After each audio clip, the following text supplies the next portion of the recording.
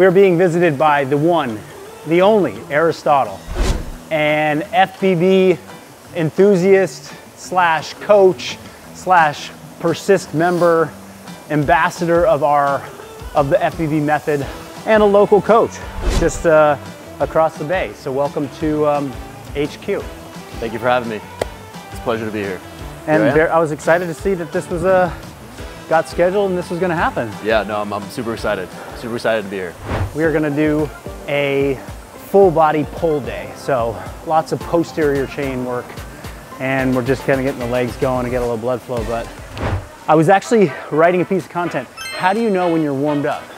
When I said you got to have the peel a layer test going on. So it's like the second you start peeling a layer, you're getting warm enough. You got to be kind of out of breath where you like don't want to be having a conversation, which I'm getting close to. And uh, you got to feel a little local muscle burn and pump. That's when you know the warm up is done. So Yeah. anyway, I'm gonna pick up my pace for one minute so I can pass all three tests and then we can go get started.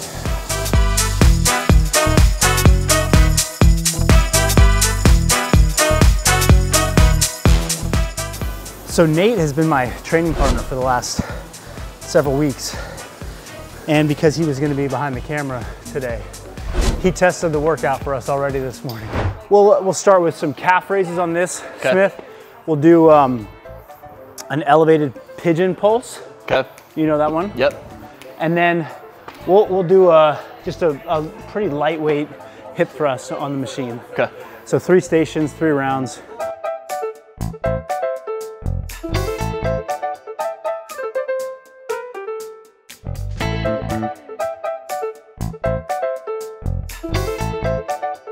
First track was minimalist. Um, this was back early in the pandemic uh, when things initially shut down.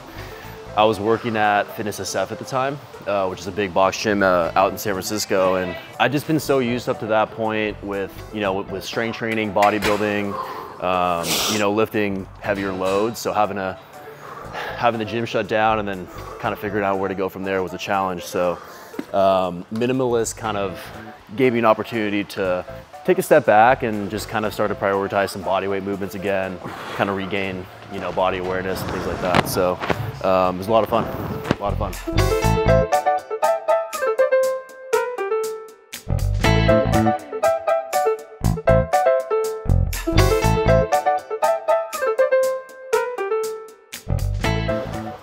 Currently following, uh, yeah, pump lift. Love pump lift.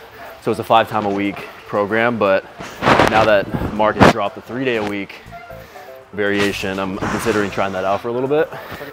Um, but I love it.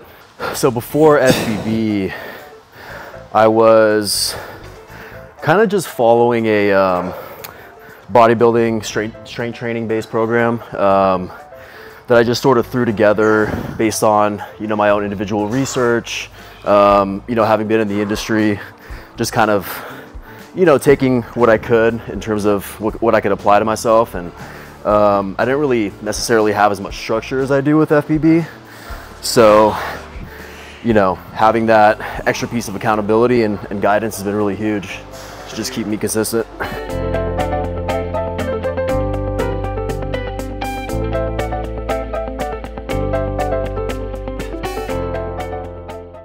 Whew.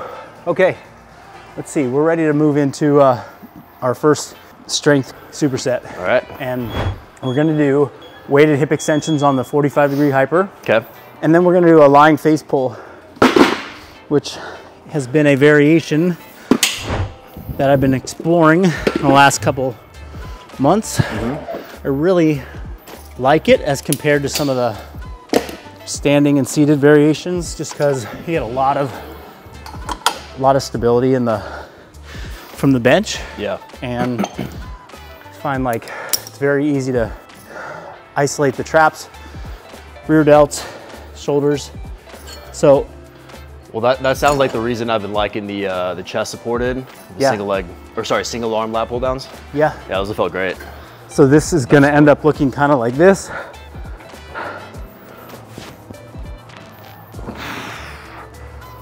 And just make sure your grip is all the way through with these on the back of your hands Okay. and try and pull the back of the hands as far back to your ears as you can. Uh-huh. And then it's pause for one second at the top. Okay. And I believe, I'll check, but I think we're doing sets of 12 on that Okay. and maybe 15 over here. You can start, You want to start over there. Yeah, we'll just swap. Okay. Get a warm up set. This is like our warm up set of each.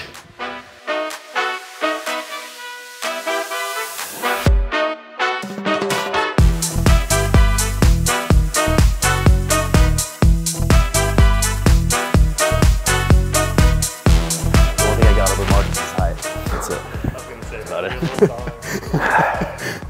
like I, I just for, for my low back really what i just think about is getting a lot of flexion in the hip on the bottom Yeah. that's just going to make me have to work what i i don't do is i'm i'm, I'm never really going up into like an, Like hyperextending. yeah Right. Um, but yeah this i think probably if i'm going to bias like more of like a hamstring glute focus here and low back is just getting some added work at the bottom Yeah. Uh, as it's showing up in our training split right now, we're doing a stiff-legged deadlift earlier in the week. Yeah. And so that's more our like major low back strengthener. Right. So this is just for like Accessory. accessory and like a, just a different, you know, a different loading mechanism angle.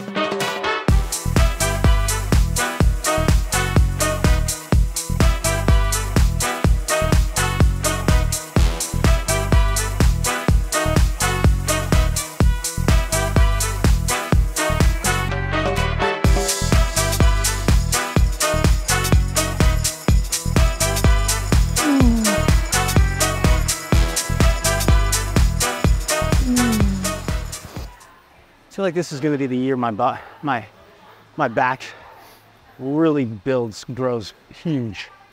I think I'm doing pulling exercises correctly after 25 years training. Finally, the one thing I'm doing, I've been doing consistently different, is that generally in pulling, and a lot this is true for a lot of pulling exercises, the resistance profile essentially how hard is the exercise at different places in the range of motion. For pulling exercises, it, it often is hardest at the end range. So out here, it's easier. In here, it's harder. If you pull and you're very, if you're a stickler for range of motion, but you're focused on this end range or this finishing position where the muscles are in the shortened uh, position, you'll find that you'll start to fail for this last one or two inches way before you start to fail in the first half of the range of motion. But this first half, when your body is stretched, your back muscles are stretched and you're pulling, there's a lot of strength and hypertrophy stimulus that's happening there. Arguably, with some of the latest research, more strength and hypertrophy stimulus happening in this lengthened position. So if you were to stop your set, because you're doing set of, sets of 10, the second you can't touch your chest anymore or you can't get your arms all the way back, okay, that's my failed point. Then you've left so much room on the table in that first half range of motion. So you see on these sets of face pulls that I'm doing, maybe the last five reps, I'm like not, I'm not getting all the way back as far back as I was on the first 10 reps, but there's, such, there's still such a big stimulus that's happening there. So, you know, lengthened partials is what they're calling it. What's what the cool kids are calling it? It's just called working a little harder and, uh, and not, not quitting Dude, you don't want to finish too soon on this, right? That's what she said. You gonna leave that in there? Yes, yes. You gotta leave that in. Marcus, I've heard some people when it comes to this specific movement. I've seen some people intentionally trying to flex Uh-huh. and really tuck their rib cage to avoid potentially hyperextending Yeah. or maybe getting past neutral. Uh, what's, your, what's your thought on that? Because I, I noticed you kind of stay neutral throughout, maybe even a little extended. I mean, I I think at the end of the day, whatever helps you get the mind muscle connection or get like the right body parts working Yeah. could be a good cue, you know? Yeah. Like maybe that's the right cue for somebody who's struggling to like know how to keep their low back out of it. Right. Maybe their So default. I mean, I gave I gave that cue kind of to Nate last week because we'd been done done these for like two three weeks and it was almost like his low back was not functional for the rest of the session because he was Yeah. biasing too much extension in his low Yep. back. Mhm. But it's like if you can, if you understand, if like let's say you have more muscle awareness or more body awareness, and you can hold neutral position, you can flex your glutes, flex your hamstrings, not work your low back, not change back angle, Right. then maybe it's you know, it's not it's not the cue that you need, but Yeah. yeah, Makes sense. I'm all for people exploring different positions and then like, okay, great. Do that for four to six weeks and now try it where you do a different back position or Right. maybe intentionally get some, you know, spinal extension like Yeah. because Yeah. we do that. Yeah. Yeah. All right, we're gonna go do prone hamstring curls and Okay. we're gonna do cable pullovers.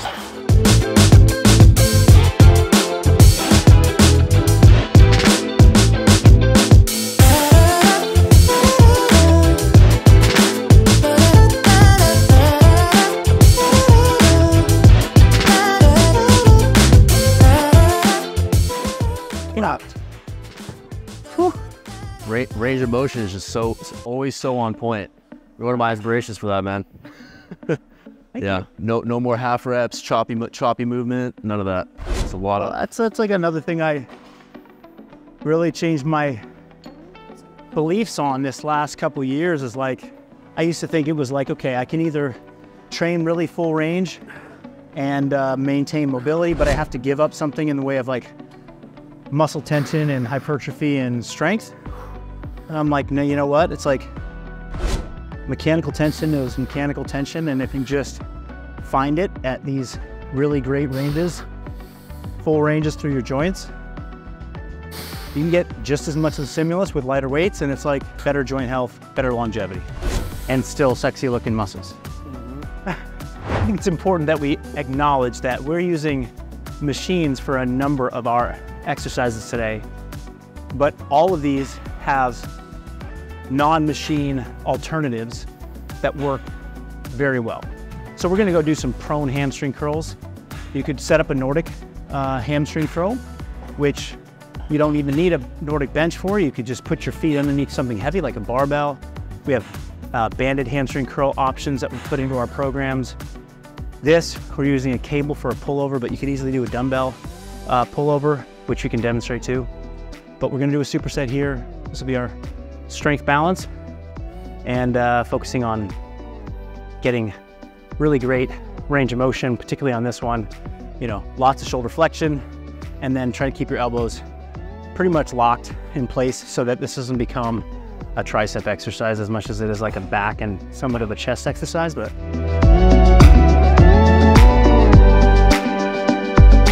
let's go. Give me slower on the way down and pause at the bottom. Slow, slow, slow. Good, slower, slower. Ugh.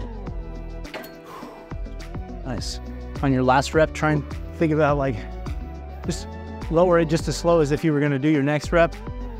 Like you got a little bit fast in your last eccentric, try and go slower on that last one. Cause at that point, like you've done all the work and now just finish those last four seconds of that eccentric.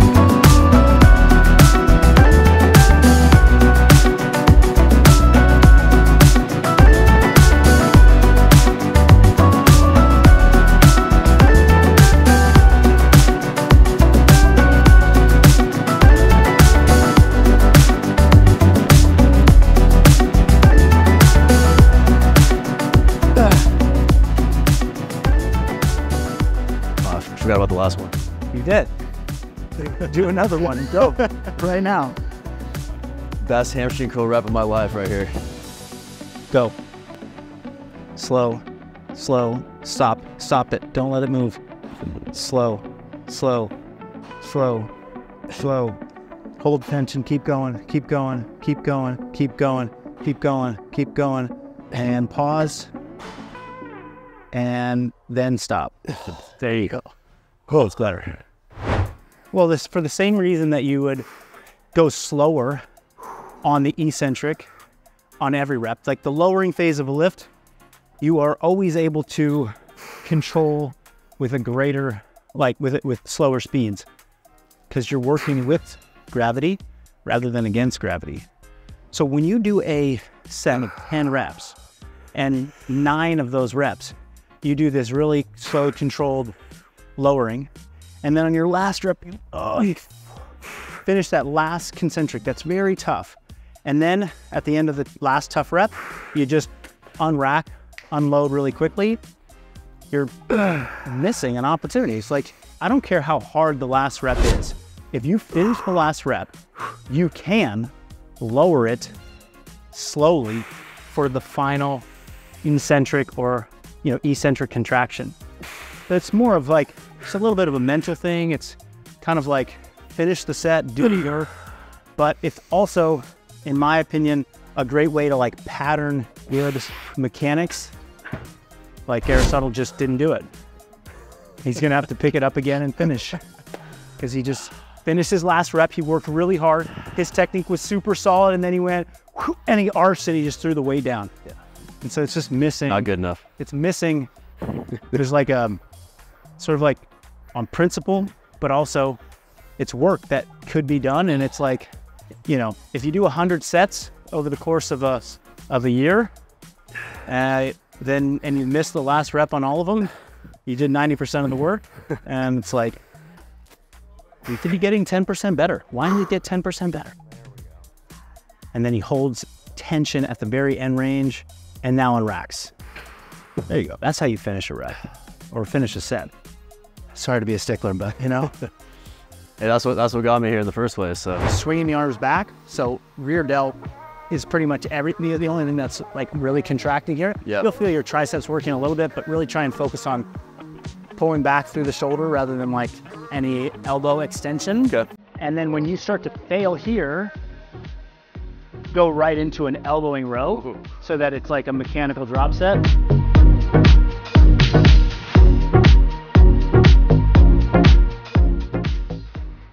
And you can even swing them close, like back towards me, further back, yeah, pinky to the sky.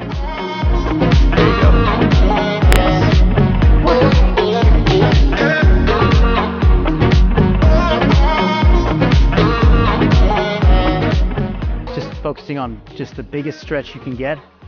Feel like deep in your oblique and, and also a little bit in your QL back here. Find that mind muscle connection in your obliques. Just really feel like a deep stretch at the bottom and then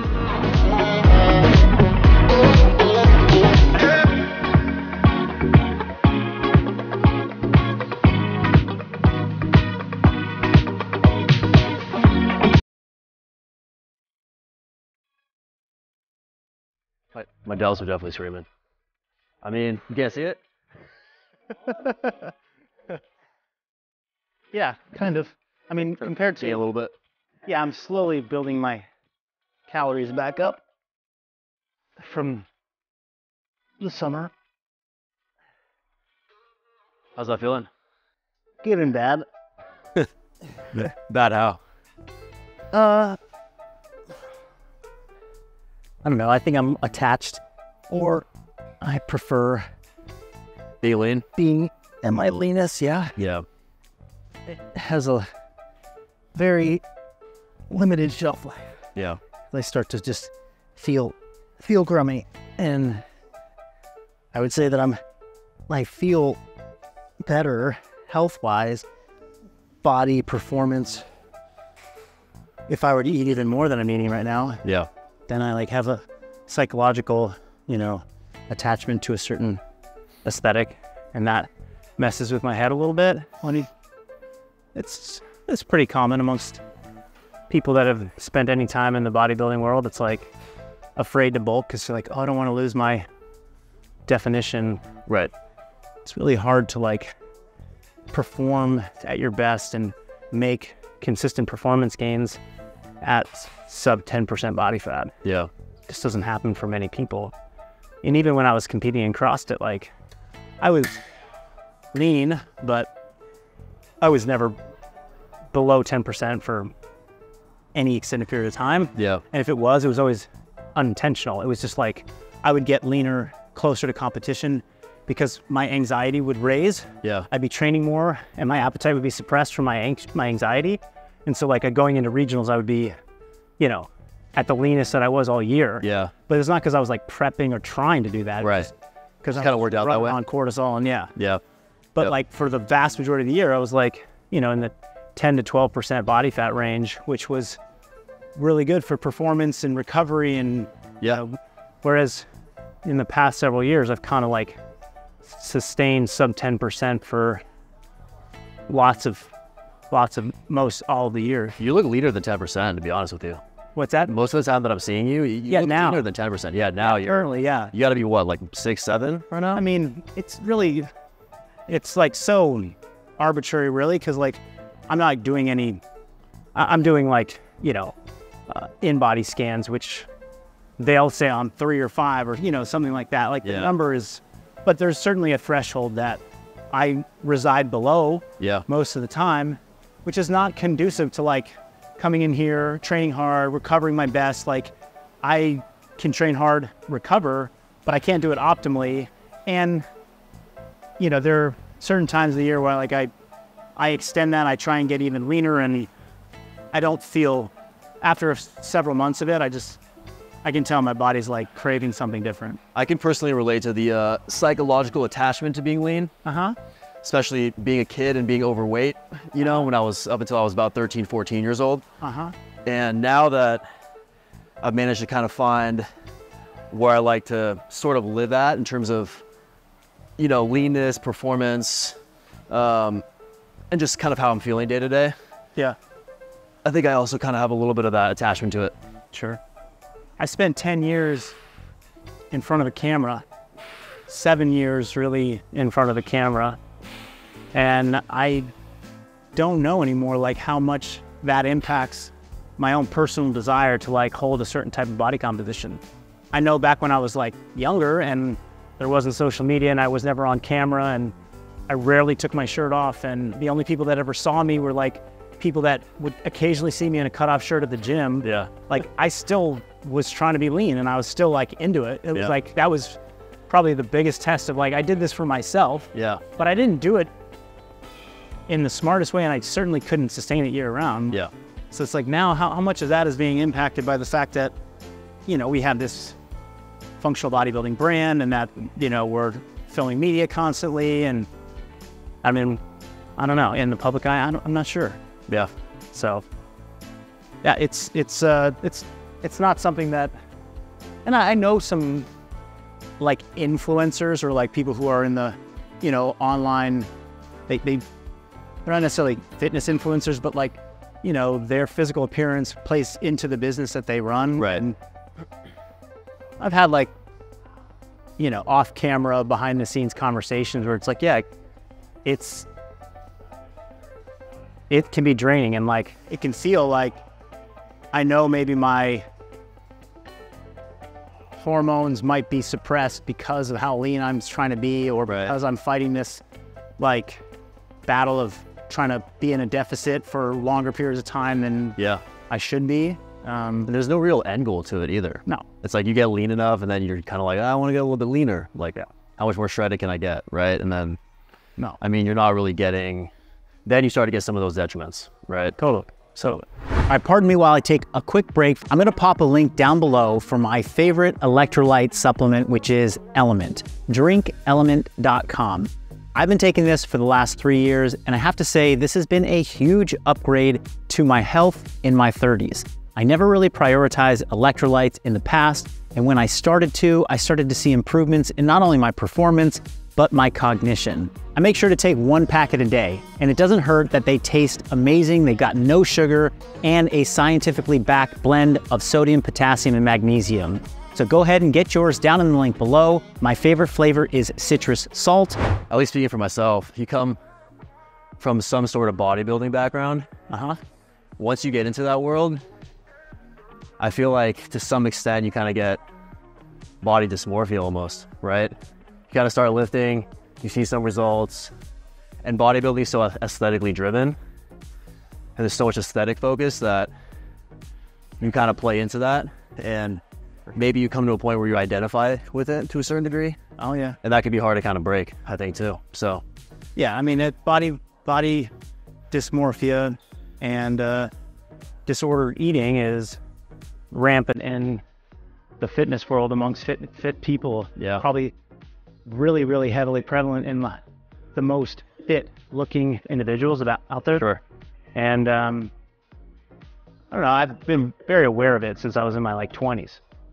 And you know, what was interesting is like my time in CrossFit as an athlete, I never like completely let go of it. Like I was always conscious of my body and um, but by the time I finished my career in competing in CrossFit, I was so everything was like almost 100% focused on just optimizing performance and recovery. yeah, I just ate whatever I needed to to be the best athlete I could be. yeah, And it was interesting because like most of my 20s or a good chunk of my 20s was spent in this like bodybuilding mindset. And by the uh, time I was finishing my 20s and like my early 30s, I had this like like three or four year period where I sort of just like had escaped this like aesthetics focused, you know, drive through fitness yeah, it was very freeing.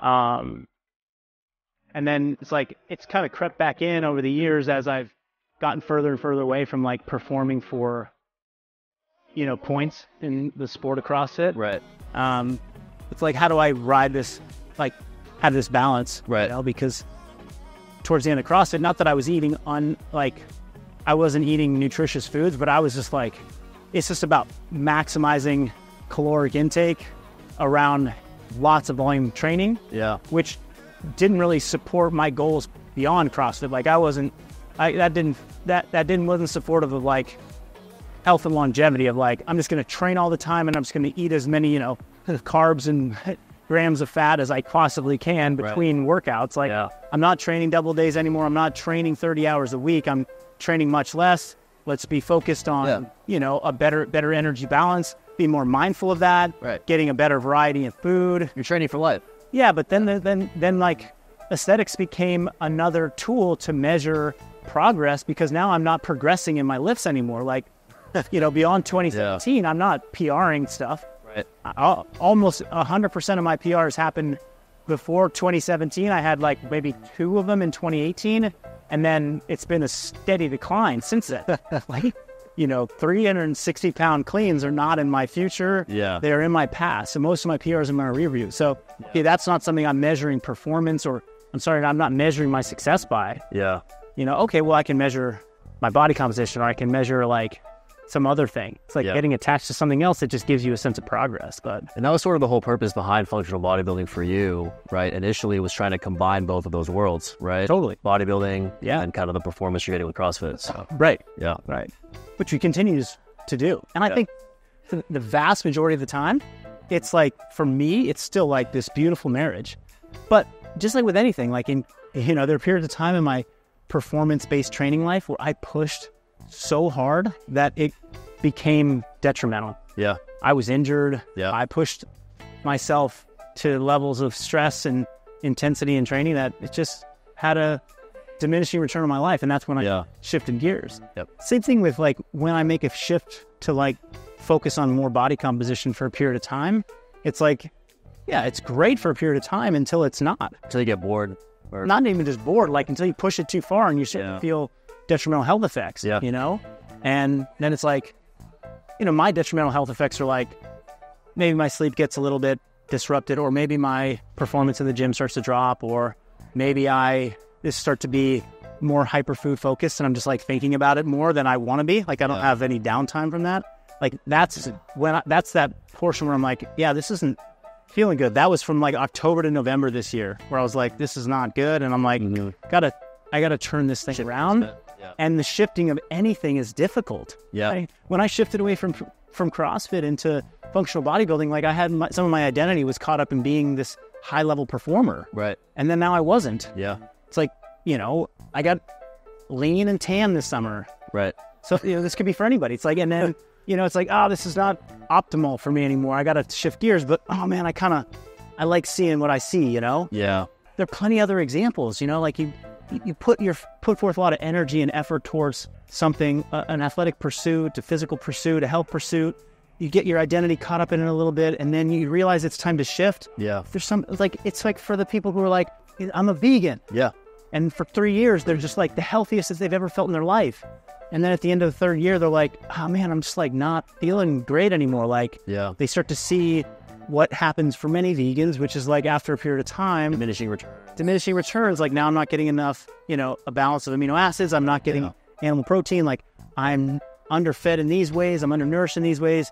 And then they reintroduce some meat, and they're like, oh my God, this identity I had as a vegan is like, gone. Like, what's going to happen? Like, what are people going to think of me? What are I, I I miss that? Or like, you know, it Right. it doesn't. It's not just body composition. It's not just performance. It's food choices. Yeah. It's the it's the carnivore, the staunch carnivore that was just eating meat, who's now like, I got to eat fruit now. Yeah. I got to introduce fruit because that's better for me. And you know, I have a whole book that's out that's called the Carnivore, you know, Code, or you know, what it's like. That was my identity. I was Yeah. this. I think what you managed to find in terms of balance with functional bodybuilding, like like we're talking about between these two pretty different worlds if you think about it, right? Like high level performance and then something that's just very aesthetically focused mm-hmm. with bodybuilding. I think that's what attracted me initially Yeah. uh, with functional, functional bodybuilding is because I was in this bodybuilding space. I did start to become self-aware of, you know, probably a certain level of body dysmorphia, just an attachment to how I looked all the time Yeah. right? And I could see how, from like a mental and psychological standpoint, that wasn't necessarily sustainable or healthy for me. Um, and I think that again, what I found with functional bodybuilding, being able to, you know, coming from an athletic background, now you know have more performance-based goals, and then also more importantly, just kind of move in the ways that I want to move, right? Yeah. day to day life. I mean, range of motion wise, mobility wise, I mean, all those things have taken, I've, I've seen huge benefit from functional bodybuilding more than anything. And um, I've, I've never felt better, to be completely honest. So finding that balance has been huge. I love having just like the diversity of training. You know, Yeah. it's like now it's like, oh, I didn't do a lot of conditioning work back in 2023 because I was focused on something else, and now I'm like, okay, I'm it's time to start ramping up my conditioning work. But Yes.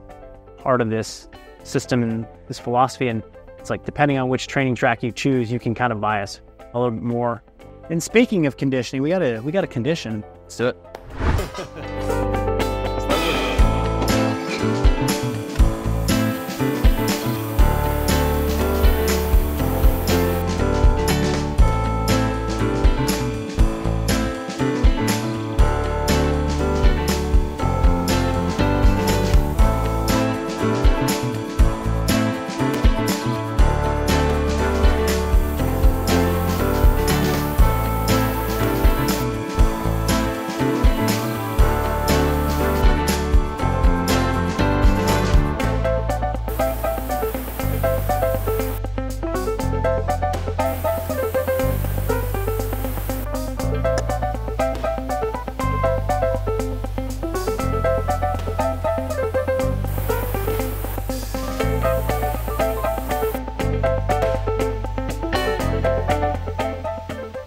All done for the day. What was your favorite part? Favorite part of today's workout? You know, to be honest with you, I like the conditioning piece. Yeah. Yeah, I had a blast with that one. Thank you for joining us today. Thank you so much for having me. here. I appreciate everything you've done for us in the last several years, spreading the word of functional bodybuilding, and we out. We out.